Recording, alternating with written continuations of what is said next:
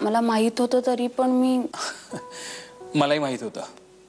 In fact मला माहीत होतं हे तुम्हाला कोणालाही माहीत नव्हतं. एनिवे माफ करायचा काहीच प्रश्न नाहीये. कारण मी तुझ्यावर चिडलोच नव्हतो. Now come to think of it चिडायला हवं होतं पण नाही चिडलो. आणि अनन्यावर? या गोष्टी विसरता येणं इतकं सोपं नाही आहे मला माहिती आहे पण मला असं वाटतं की तुम्ही दोघांनी नव्यानं सुरुवात करा. ती करायची नसती तर एवढा खटाटोप केला असता का? गौरी मला माहिती माझ्या चुका आहेत. खूप चुका आहेत. माझा स्वभाव. अनन्याचं क्रेडिट आहे की तिने माझ्यासारख्या माणसाबरोबर इथवर निभावलं. आपल्याला प्रत्येकाला एकमेकांपासून एक धडा शिकायचा असतो. मागच्या जन्मीचे काही हिशोब चुकते करायचे असतात. म्हणूनच आपल्याला आयुष्यात जी माणसं भेटतात ना ती भेटतात. डॅडा अरे तू असं का बसलास कपडे पण बदलले नाहीस अजून. झोपायची वेळ झाली आता. मम्मा ओरडेला तुला. डॅडा मी तुझ्याशी बोलतीये. नुसतं हम्म काय करतोयस? आणि बरेच दिवसात तुम्हाला स्टोरी पण सांगितली नाहीयेस. मला आजच्या स्टोरी ऐकायची आहे. कुठलीही चालेल. अ, देवी तू बाळा आज जातेस का? दिस इज नॉट फेअर डॅडा मला आजच्या स्टोरी ऐकायची आहे. कुठलीही चालेल. अ, राजाची सिंहाची पर्यांची कुठली? एक राजा होता. गुड बॉय खर तर तो राजा होता एक गरीब विद्यार्थी होता. एका मोठ्या शहरात आला. स्वप्नांच्या मागे धावत धावत जीवाच्या आकांताने ती स्वप्न त्याला मुठीत धरायची होती. काही स्वप्न हातात आली काही सुटली. तू हे कोणाबद्दल बोलतोयस? त्या राजाबद्दल की तुझ्याबद्दल? हे दोघे वेगळे कुठे आहेत? म्हणजे? म्हणजे काय ते तुला नाही कळणार बाळा. आणि ते तुला कळवूही नाही कधी.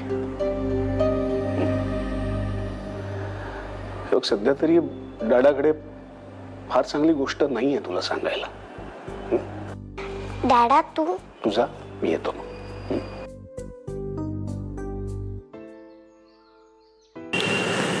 तू कशाला होकाच झोप नाही लागली. लवकर उठलो होतो.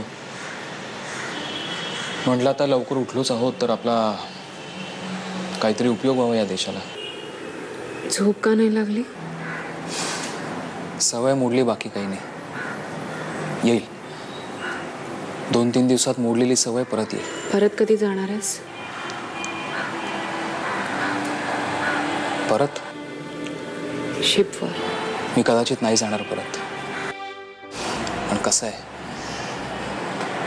संशयी स्वभाव आणि घरापासून लांब नोकरी.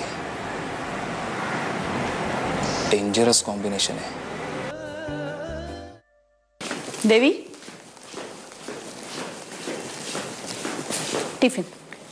काय आहे डब्यात? डब्यात काय आहे ते शाळेत गेल्यावर डबा उघडल्यावर कळेल. त्याला कुठे? आहे?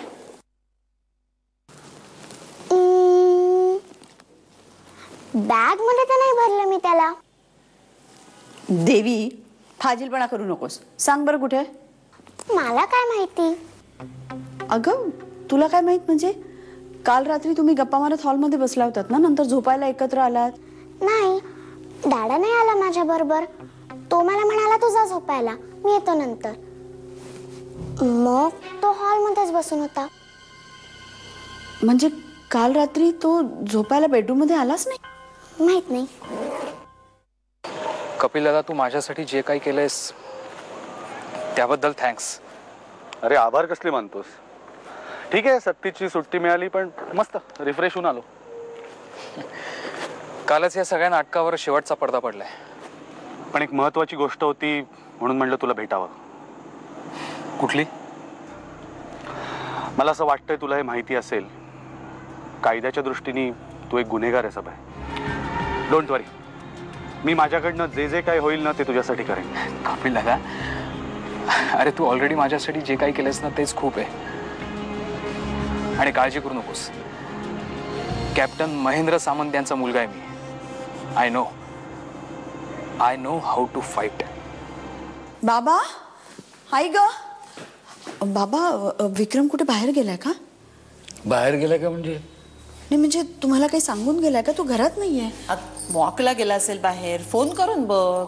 अगं मी फोन केला होता आता फोन लागत नाहीये. काल रात्री देवीला गोष्ट सांगत होता म्हणाली. आणि त्यानंतर विक्रम काल रात्री झोपायला बेडरूममध्ये आला नव्हता का? मी खूप लवकर झोपले बाबा काल. अगं असा कसा तो न सांगता कुठेतरी जाईल? ऑफिसला गेला असेल? नाही हो गाडी आहे त्याची बाहेर. अगं गाडी बिघडली असेल तर रिक्षाने गेला असेल. तू एक काम कर. त्याला ऑफिसमध्ये फोन कर. हा? मी पांडुरंगला विचारून आलो.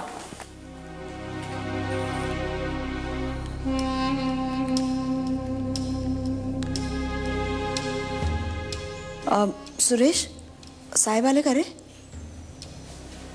नाही? नाही नाही काही नाही. आले साहेब की घरी फोन करायला सांग. ठीक आहे. नाही ऑफिसमध्ये पांडुरंग सहा वाजल्यापासून बाहेर आहे.